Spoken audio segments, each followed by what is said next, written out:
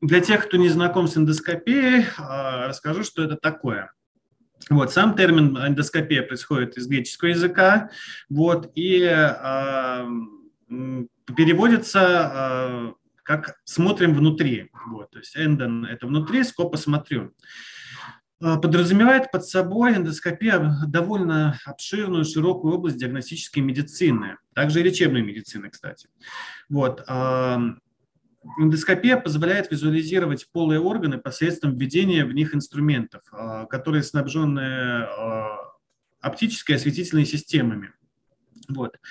А, эндоскопия, опять же, повторюсь, кроме диагностической функции, может выполнять и лечебную вот, функцию. Вот, смотря что мы хотим сделать. Также немножко вот кратенько пройдусь по эндоскопам, потому что нам необходимо понимать, чем мы работаем. Эндоскопы – это э, инструменты, которые э, позволяют нам э, произвести осмотр полостей. Вот. Их делят на два типа. Здесь на слайде представлены жесткие эндоскопы. Вот, то есть это эндоскопы, которые не обладают манипуляционной подвижностью. Вот. Грубо говоря, они позволяют смотреть только довольно прямые органы, вот. либо производить осмотр обширных полостей. А, кратенько расскажу про устройство жесткого эндоскопа, который вот был приведен на картинках а, предыдущего слайда. Это, кстати, те эндоскопы, которые мы используем в своей работе. Вот. Устройство жесткого эндоскопа, он состоит из а, следующих а, элементов. А, наглазник, либо также к нему подключается камера, которая выводит а, изображение на экран, коннектор световода, к нему подключается световод, вот, который а, в дальнейшем по а, системе оптоволокна выводится на э, рабочий конец эндоскопа и обеспечивает освещение вот, э, зоны осмотра. Вот. Основная часть его – это трубка. Здесь я показываю. В этой трубке будут находиться распорки и стержневые линзы. Она обеспечивает проведение а, уже изображения, то есть света. И в конце находится объектив. Жесткие эндоскопы не предусматривают в себе а, встроенные какие-нибудь цифровые камеры, хотя, возможно, такое оборудование есть. Просто, честно, экономически нецелесообразно такое делать. А, для нашей темы именно эндоскопии нижних дыхательных путей в этой картинке важно один элемент, я его обведу, это направление наблюдения. А, фишка в чем? Эндоскопы у нас а, нестандартные, не бывает скажем так, по полю, по направлению наблюдения какого-то вот стандарта, что вот смотрим только прямо. Вот. Эндоскопы, они по направлению наблюдения бывают прямые, вот здесь на картинке указано, но также бывают с измененным углом поля зрения. То есть линза объектива будет находиться наискосок. Если курсор виден, я пометил, э, показываю как. Соответственно, угол поля зрения будет меняться в сторону. То есть мы будем смотреть не право, не, не прямо, а немножко под углом вниз. Вот. Эти углы бывают разные. 10 градусов, 30, 40, там 45 градусов. Есть даже эндоскопы, у которых э, объектив расположен под углом 90 градусов. А, зачем я это рассказываю? Для того, чтобы в дальнейшем, а, когда будем рассматривать момент а, трахеобронхоскопии, вот, этот момент очень важно учитывать, чтобы не навредить нашему пациенту. Вот. Ну и гибкий бронхоскоп. Как говорится, гибкий эндоскоп с подвижной частью. Вот, его дистальной части будут находиться окуляры и осветители. Вот. У бронхоскопа, в отличие от гастроскопов, колоноскопов, вот, э, э, всего э, два направления движения. Вот, то есть если дистальный конец гастроскопа может двигаться там, в четырех направлениях, вот, то здесь только в двух. Соответственно, добавочные направления мы можем обеспечивать просто вращая рукоятку эндоскопа вот вправо-влево в руке. И э, следующее отличие это отсутствие эм, подачи э, воды на смыв камеры. Просто в этом оборудовании оно не требуется. Вот. А, также отличие в том, что это довольно тонкий инструмент. Это не дешевое оборудование, вот, а, оно требует, а, опять же, определенных навыков в работе. Вот, средний диаметр эндоскопов это до 6, бронхоскопов это до 6 миллиметров. Вот, такой бронхоскоп позволяет нам произвести осмотр, в принципе, даже небольшой кошки, вот, где трахея позволяет пройти ему. Так. Э, по э, видам манипуляций, которые мы можем проводить эндоскопически. Немножко остановлюсь на торакоскопии. Почему немножко? Что э, я этим не занимаюсь. В принципе, в нашем филиале это не проводится, но знать про нее надо, потому что это также элемент осмотра нижних дыхательных путей. Вот. Тракоскопия, э, показания для нее э, – это осмотр плевральных полостей, это биопсия, это выполнение хирургических операций э, грудной полости, удаление новообразований, лечение хилоторакса, плевродез, к примеру, при пневмотораксе, хирургия дивертикулов пищевода, хирургия грыж пищеводного отверстия диафрагмы. Как что из себя вообще в целом представляет торакоскопия? А, это примерно что-то похожее на лапароскопию, вот, осмотр брюшной полости через проколы, а, только со своими нюансами. Вот, при торакоскопии введение эндоскопов проводится в грудную полость через межреберные промежутки, либо со стороны э, брюшной полости. Вот здесь на рисунке указано введение эндоскопа э, в области мечевидного хряща. Вот. А, введение осуществляется через определенные порты или тракары, которые для тракоскопии имеют а, свои особенности. Вот. При тракоскопии нам не требуется э, инсуфляция и создание повышенного давления в грудной полости, то есть нам не надо туда закачивать воздух, чтобы производить осмотр, в отличие от брюшной полости. Поэтому тракары, они не герметичны. Вот. Также в тракарах имеется такая ребристая нарезка, то есть, которая позволяет его в определенной позиции заклинивать между ребрами. Вот. Опять же, эти тракары довольно короткие. А, в принципе, наверное, это все по торкоскопию. Сейчас пойдет немножко интереснее тема. Трахеобронхоскопия.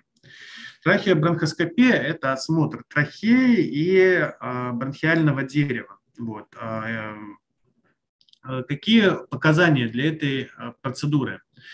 Проведение визуального осмотра трахеи и бронхов. Трахеобронхоскопия позволяет нам выполнить отбор материалов для бактериологического, цитологического и гистологического исследований.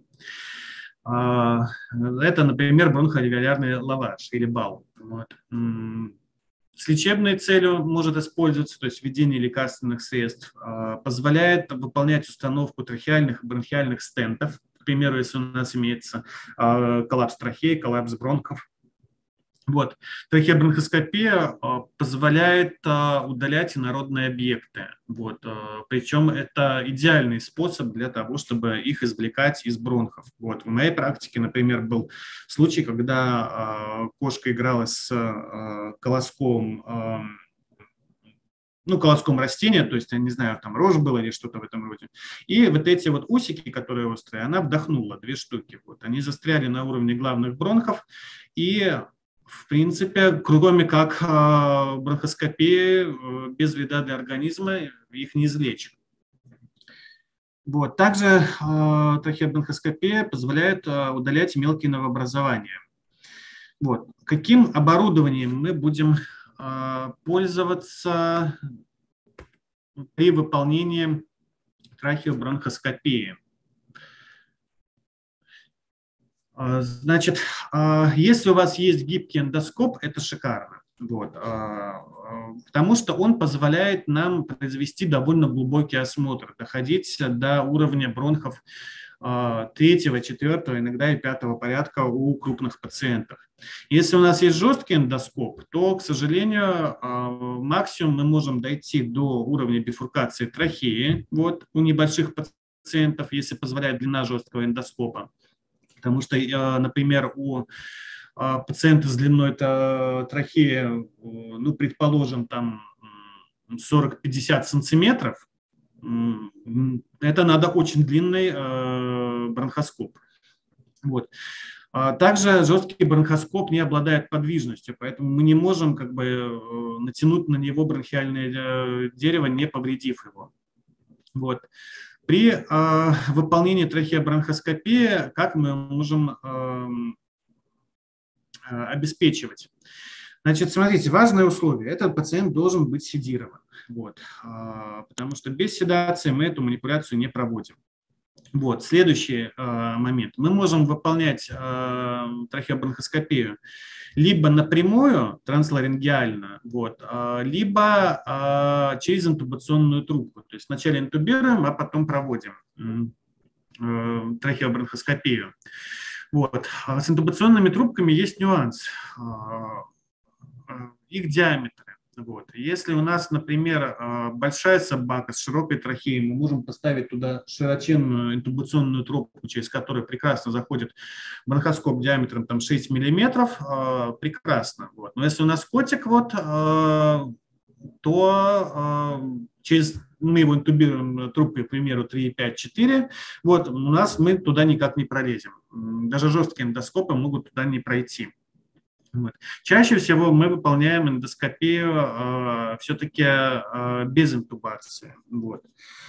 Вот. А, так как э, пациенты нам, ну, особенности пациентам нам э, не позволяют э, делать через интубационную трубку. Вот, у пациентов с трахеостомами, к примеру, можно делать через трахеостому вот эти обследования. Вот. А, подготовка пациента а, к проведению процедуры а, в обязательном порядке включает в себя преоксигенацию. Пациент должен быть хорошо преоксигенирован. Вот. Когда мы работаем гибким эндоскопом, то через рабочий канал может, к примеру, подаваться кислород. Вот, то есть мы можем подключить коннектор и подавать кислород. Вот, это при планировании длительного какого-то исследования.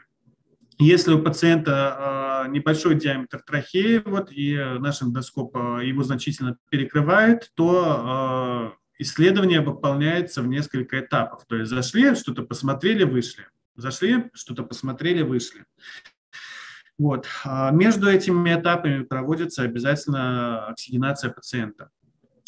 Касаемо эндоскопии жесткими бронхоскопами, то, про что я говорил по поводу поля зрения – вот. Если у нас эндоскоп а, а, без прямого поля зрения, то есть край скошен, вот, и э, поле зрения уходит в сторону, при введении эндоскопа мы будем видеть э, только э, поверхность э, трахеи. Для того, чтобы нам увидеть просвет, а для движения дальше мы должны увидеть этот просвет, нам необходимо эндоскоп изгибать, э, точнее не изгибать, а немножко поворачивать. Вот. А, и в этот момент а, заостренный конец эндоскопа может смотреть в сторону а, либо связки, либо ну, стенки трахеи. Вот, соответственно, мы видим перед собой просвет, мы начинаем двигать эндоскоп, удерживая просвет в центре, эндоскоп у нас благополучно упирается в стенку, перфорирует ее, либо наносит какие-то иные травмы. Поэтому в этой ситуации прохождение трахеи осуществляется ступенчато. Посмотрели вперед, посмотрели на стенку, продвинулись, опять посмотрели вперед. То есть это касается эндоскопов с угловым полем зрения.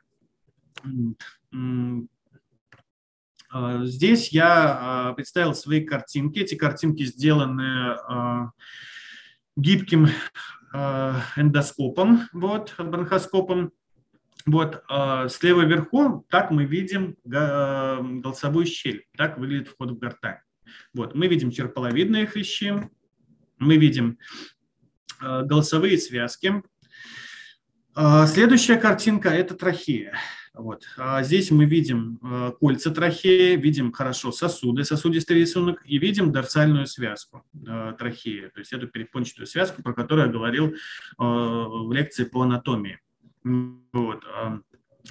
Далее мы доходим до уровня бифуркации.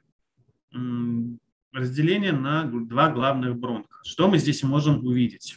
Карину, вот это угол карины, вот, а, либо киль а, трахеальный.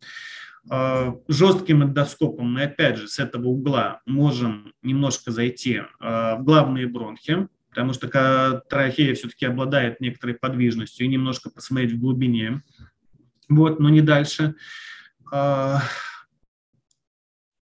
Следующая картинка. Так выглядят э, генерации уже бронхов второго, третьего порядка. То есть мы видим деление одно отверстие, в этом отверстии еще там деление, и дальше это будет продолжаться, с каждым разом диаметр уменьшается.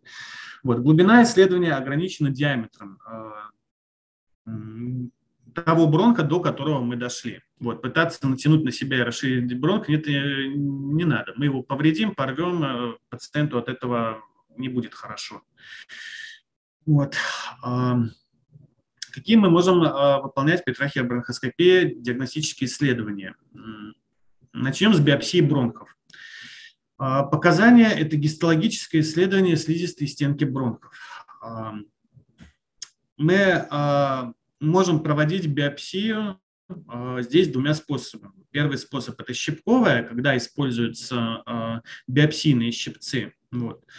А, и браш-биопсия, когда используется цито, жесткая цитощетка. А, щипковой биопсии мы а, отбираем фрагментик слизистой бронха. Вот, чаще всего это выполняется в доступных участках, в зонах деления бронхов.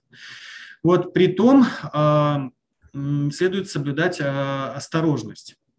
Вот, так как при проведении биопсии мы можем повредить его вот, и привести к перфорации, что создаст кучу проблем. Поэтому биопсия проводится лучше под визуальным контролем. Слепая биопсия возможна, но это такая, такое авантюрное мероприятие. Вот. А, потом будем грызть ногти, смотреть на пациента и думать, а, будет что плохого или не будет. Вот. А, значит, когда мы выполняем браш-биопсию, мы вводим через рабочий канал цветощетку, вот, а, проводим по поверхности бронха, вот таким образом соскабливая э, э, эпителий, вот клеточную ткань, соскабливая слизь. Вот. А, из э,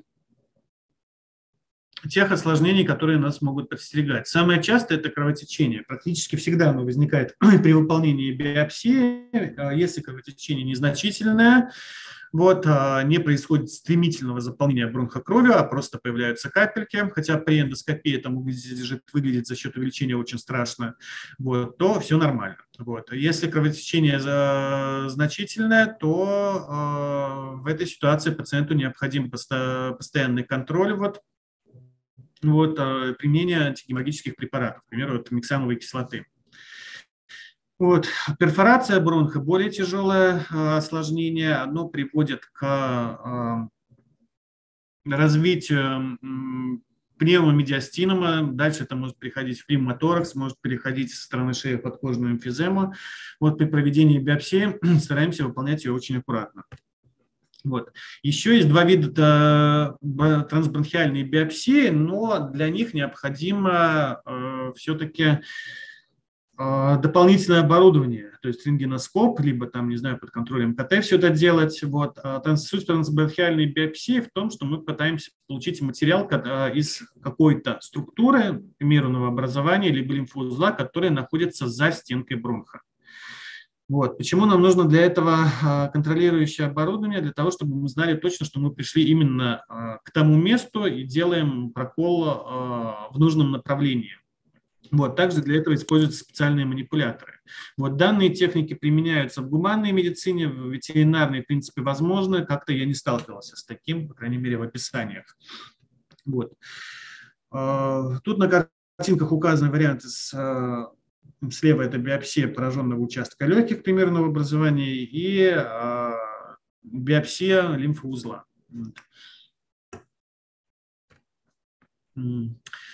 А следующий диагностический метод – это трахеальный смыв. Суть метода в том, что мы орошаем слизистую трахеи теплым физиологическим раствором с последующей аспирацией этого раствора на уровне бифуркации, либо уровня бронхов второго порядка. Вот. Трахеальный смыв – это не бронхиальный лаваш. Они как бы и рядом не стоят. У них абсолютно разная информативность, разные цели. Вот, значит, техники проведения трахеального смыва, они визуальная, то есть это через, с помощью эндоскопа. Это слепая, когда мы вводим э, катетер через трахеальную трубку вслепую. Вот и транскутанная. То есть когда для введения катетера и раствора делается прокол э, свя, э, перстневидно-щитовидной связки, вот, либо прокол э, меж связки э, колец трахеи примерно на уровне там, второго-третьего сегмента, вот, до четвертого сегмента, через кожу в области шеи.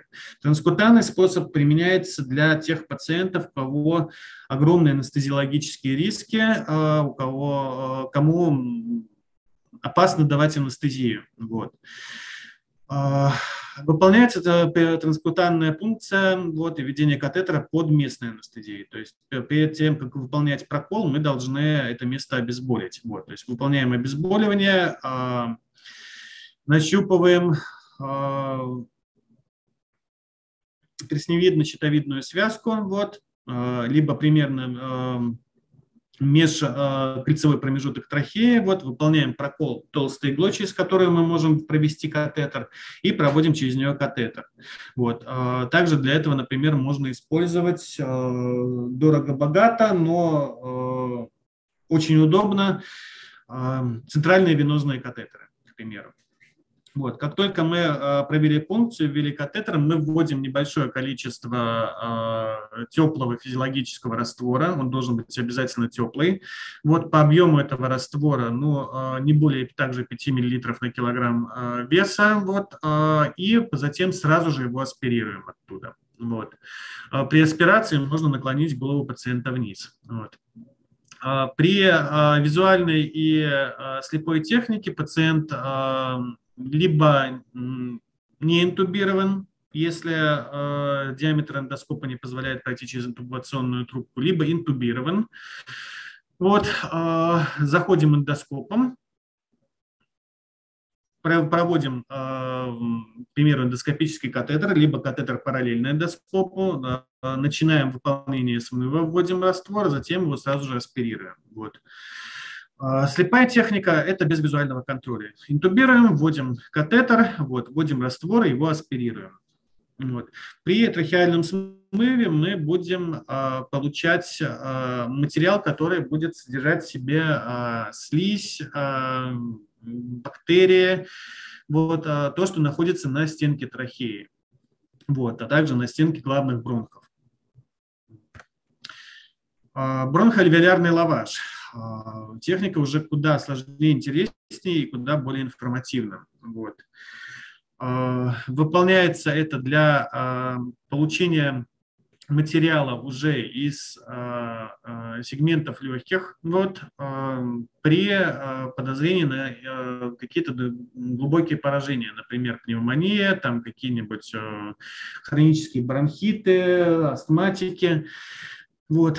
А, сама техника бронхоальвеолярного лаважа включает в себя вливание стерильного изотонического раствора в нижние дыхательные пути и, опять же, аспирацию этого раствора а, с целью получения бронхоальвеолярного смыва для дальнейших диагностических исследований. А, два метода выполнения – визуальные, то есть под контролем эндоскопа, рентгеноскопа, вот, либо слепой. Вот. Что нам необходимо для а, выполнения бронхоальвеолярного лаважа? Ну вот. Бронхоскоп или рентгеноскоп – это при выполнении бронхоальвеолярного лаважа под визуальным контролем. Эндотрахеальная трубка, а, мягкий стерильный катетер диаметром 7-8 френчей, а, либо стерильный эндоскопический смывной катетер, который позволяет пройти через рабочий канал гибкого бронхоскопа. Шприцы с теплым стерильным физиологическим раствором, вот э, пробирки для сбора лаважа, либо идеал – это система сбора трахеосет. Вот если мы, это, они немножко позже расскажу, если мы пользуемся, также мы должны иметь какое-то э, аспирационное оборудование. Вот. Э, реаним набор на всякий случай, потому что эта манипуляция тоже сопряжена с некоторыми рисками. Вот. Ну и воля в кулак, особенно если это делаем первый раз, если опыта мало, если боимся залить легкие. Вот. Для некоторых а, введение раствора в легкие, оно чем-то сродни утоплению. Вот. А, а, люди этого очень сильно боятся. Вот. На самом деле страшного ничего в этой процедуре нет. Вот. Рутинно она выполняется что у животных, что у людей. Здесь на фото я представил то оборудование, которое нам необходимо. То есть это катетеры, шприцы, эндотрахеальная трубка, физраствор, реаним набор. Трахеосет представляет из себя а, систему из двух трубок а, и пробирки. Вот. Это стерильная а, система. Вот, она позволяет произвести очень быструю аспирацию введенного раствора. Вот. К одному коннектору трубки подключается вот здесь к правому катетер, Хотя, в принципе, если катетеры разные бывают по своим воротам, то, к примеру, либо здесь, либо здесь выбираем направление сами. Вот. К другому подключается аспиратор. Вот. После введения раствора включаем аспиратор, происходит вот всасывание. Вот. Все собирается в этой емкости. Далее мы снимаем верхнюю крышку и э, закрываем э, идущий в комплекте дополнительной стерильной крышкой. Вот. Штука очень удобная. Э, техника выполнения бронхоалвеолярного лаважа важно, расчет объема ликвоты, то есть вводимого раствора. Вот. Мы используем стерильный физиологический раствор. Вот. А, мы можем а, у собак кошек применять до 5 мл а, раствора на 1 кг веса. Вот. То есть если у нас весит пациент, например, 4 килограмма, мы можем спокойно вводить 20 миллилитров. Вот.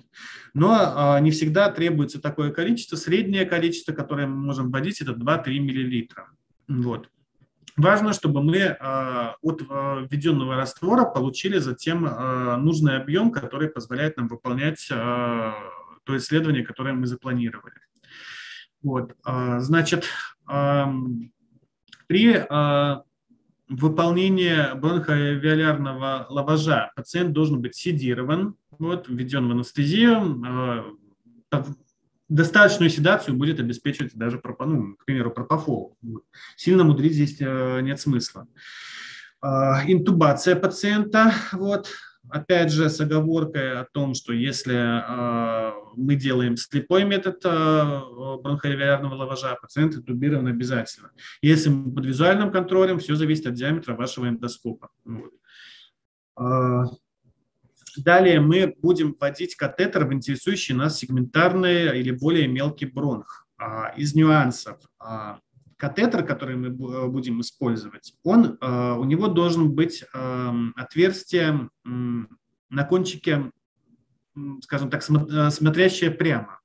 Вот, катетеры, которые к нам поступают, они э, содержат в себе также э, отверстия э, вправо-влево направленные, вот, кончик часто запаян.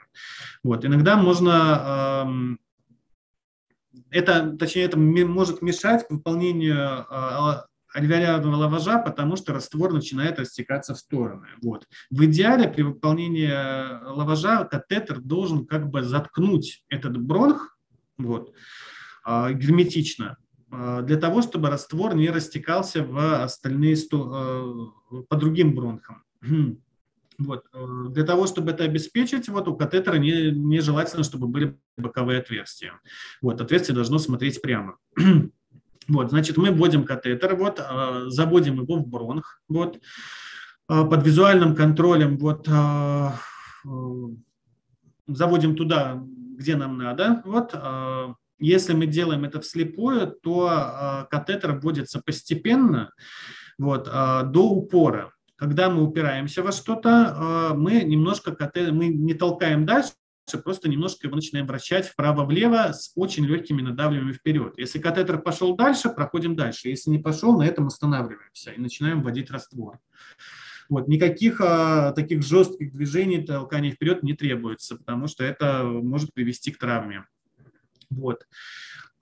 После того, как мы установили катетер, мы сразу же вводим аликвотон. Вот болестное введение максимально до 20 э, мл у крупных пациентов, у кошек там до 10 мл. Можно вводить несколько этапов, то есть вводим один шприц, вводим второй шприц. Вводим мы это, этот раствор плавно, то есть не резко не пытаемся раздуть, а просто таким плавным, спокойным движением. Вот. Где-то в течение секунды, двух секунд раствор должен зайти. Вот. После того, как мы закончили водиться, мы сразу же аспирируем, вот, сразу же оттягиваем э, на себя. При аспирации тоже не требуется создавать прямо какого-то огромного вакуума, вот, а, потому что раствор будет поступать постепенно. Вот. Когда мы вводим первую порцию а, аликвоты, то а, нужно быть готовым и не, не удивляться тому, что вы а, назад можете получить немного раствора. Вот я здесь привожу данные о том, что а, вот, э, из э, книги по эндоскопии о том, что первично получается аспирировать от 40 до 90 процентов. 90 процентов введенного объема – это редко. Вот.